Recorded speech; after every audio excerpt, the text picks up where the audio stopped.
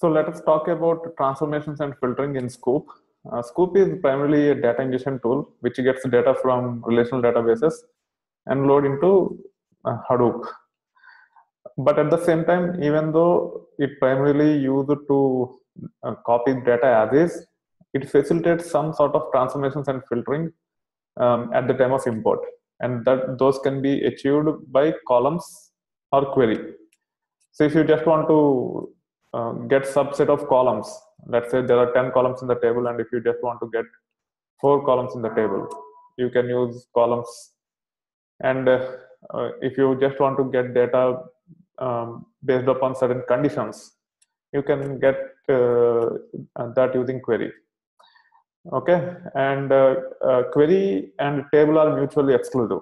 Either you have to use table or query. So far we have we have been seeing using table so if you want to apply certain logic while getting the data we can use query. Query can also be used to perform certain transformations on the data before loading. It can be any valid query uh, you can give. Also a query cannot be used along with columns. Either you use table and or or columns or you use query. Query is a little bit more generic and more flexible compared to using table and columns but if you just want to copy table as is you can use table. If you want to get subset of columns from the table you can use columns. If you want to filter data or apply certain transformations such as aggregations and all you can use query. Okay? So table and or columns.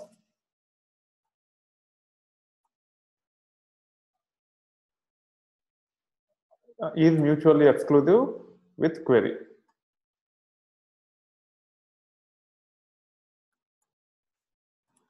You should not use uh, query either with the table or um, table and columns. If you are using columns, you have to have table also. Without table, you will not be able to fetch certain columns.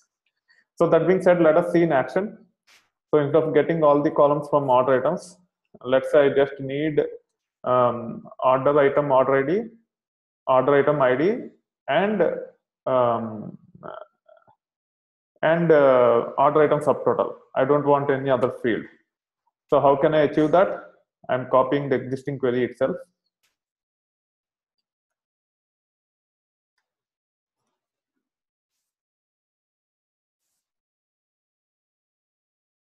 okay with uh, num mappers as 2 as the columns is closely related with table it's good practice to define columns also along with the table. And if you want to get the documentation you can go to the browser and search for uh, sqoop user guide 1.4.6 go to the documentation. And here we are talking about uh, query common arguments. That's not common arguments. Uh, there should be import control arguments yeah. If you see here uh, we are talking about columns. So this is the syntax. You have to define columns with comma separated and there should not be space after comma. Okay? So you have to give column names exactly with the comma separated. There should not be any other character between comma and the next column. So here let's say i want to fetch three columns which is order id which is nothing but child child uh, uh, referential integrity um, uh, uh defined uh, for orders order id order item ID, which is nothing but primary key, and order item subtotal. Again, to get the field names, either you can run eval query to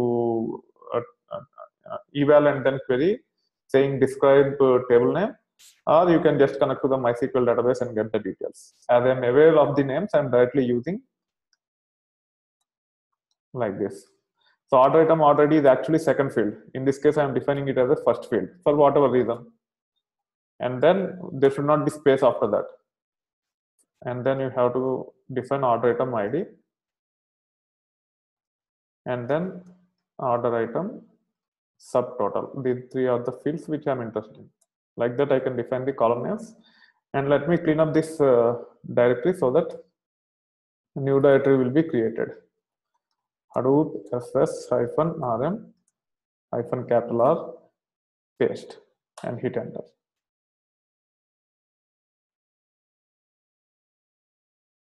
And then let me copy this command and paste it.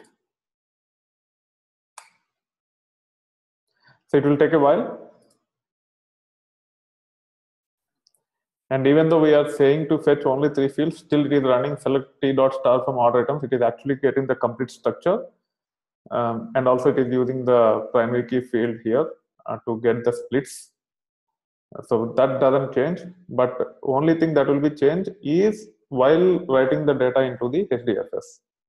It will write all 172,198 records, but each record will have only three fields that we can confirm by saying Hadoop fs hyphen cat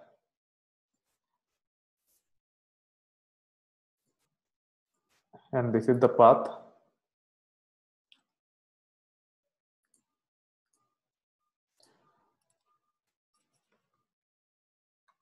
order items. Let me use tail not cat.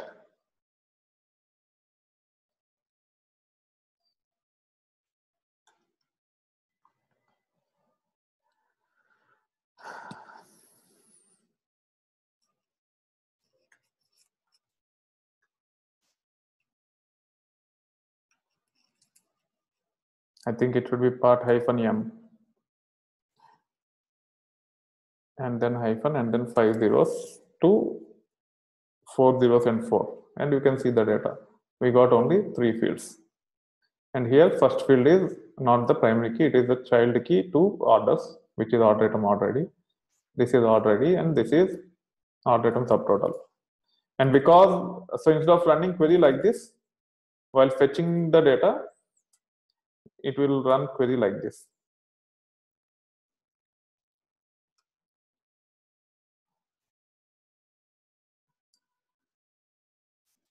and then it will actually copy that data into HDFS. So this uh, uh, this is how you can actually get subset of columns uh, that you are interested in from the table. But what if if you uh, what if you want to do a bit advanced transformation? For example, let's say I want to just get uh, the uh, data in such a way that I get the order ID and the revenue, and I don't need anything else from the order items. And also using order ID, I want to join with uh, orders and get other information from orders. Okay, so I want order ID, order date, order customer ID, order status, along with um, uh, total revenue for each order, which requires join to order items. And I want to do it in uh, while doing the import itself instead of um, uh, doing the import uh, to um, uh, to uh, HDFS first and then processing. I want to get the processed data. Uh, that can be achieved by using query. So first we have to figure out the query. So here I'm connecting to the uh, database.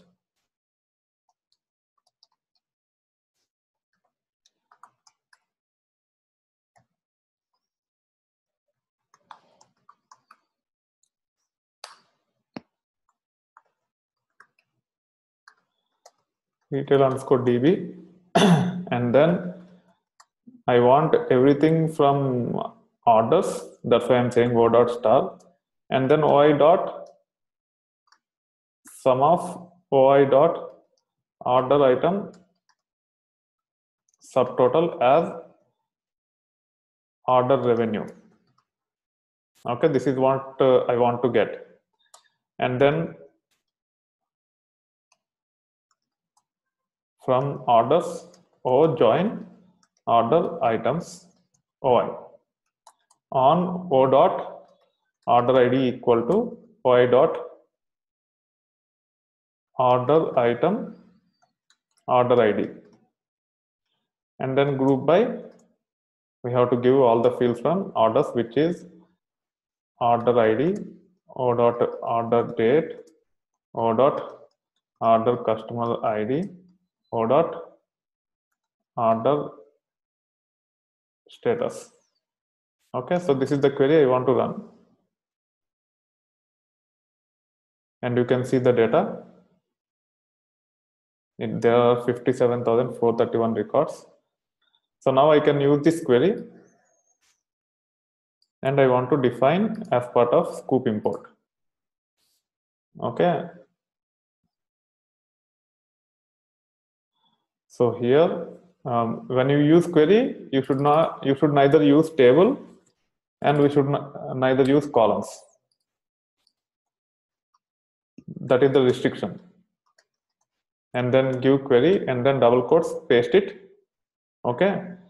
And uh, also because we are passing the query it doesn't know using which field it should part uh, it should uh, apply this uh, uh, boundary query for that reason we have to define split by clause whenever we use query. Without split by you cannot give number of mappers more than one when you use query. So that being said let us define the split by.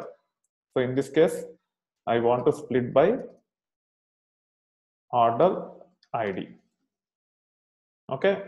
Now let us see if it will run. And before doing that let me uh, also we we uh, we cannot use warehouse directory anymore because we are not giving table. So which which subdirectory uh, it will be creating. So for that reason when we use query we have to use target directory and give the um, actual uh, uh, fully qualified path for the directory into which data should be copied. Okay? So in this case let let let us say orders with revenue so this is the directory into which i want to copy the data. And let us see if it will run. Uh, again it will run the entire query. I have to exit and then run the sqoop import. Exit and run the sqoop import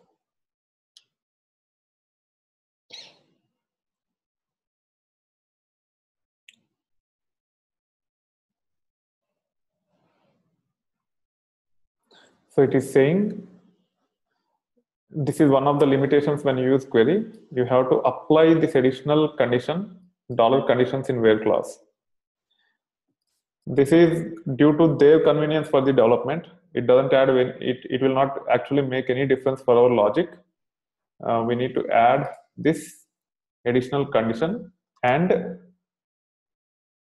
dollar conditions this has to be there. And also a dollar is a special character in linux hence we have to escape it. And the way you can escape it is by using forward slash like this. I guess forward slash if not forward slash it should be backward slash. Now let us paste this. If you do not uh, specify okay it, it has to be backward slash only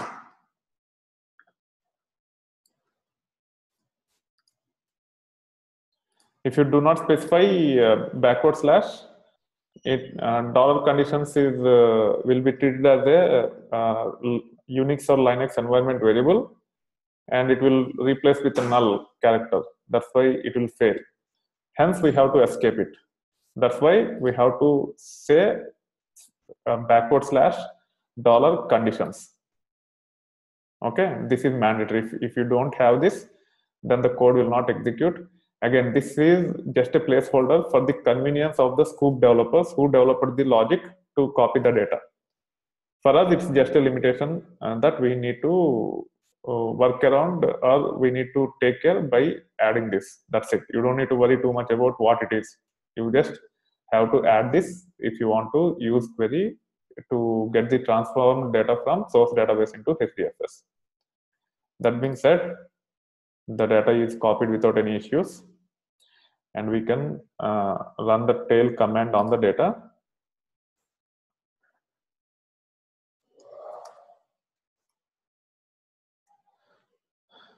Hadoop. Fs hyphen tail. Paste. Part hyphen one two m hyphen 1 2 3 4 5 and you can see the data. We get all the information from orders and then aggregated revenue for that order from order items. This is how you can use the query to get the transformed data. And again let me reiterate.